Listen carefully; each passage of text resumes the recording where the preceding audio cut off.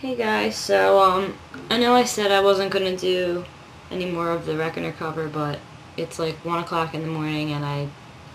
have been playing my guitar for like hours and I was doing covers and stuff, but um, yeah, so I was playing Reckoner and just kind of like improvising and it sounded different, so I thought I would let you guys hear it.